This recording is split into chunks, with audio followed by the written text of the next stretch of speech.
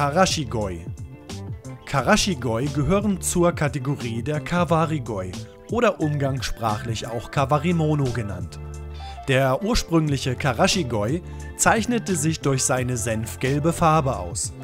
Durch sein oftmals sehr aggressives Fressverhalten und dadurch großes Längenwachstum hat diese Varietät große Beliebtheit erlangt.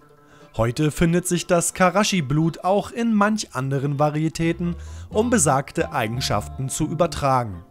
Karashigoi gibt es mittlerweile auch in anderen Farbvarianten, wie zum Beispiel Red Karashi bis hin zu hautfarbenen Varianten.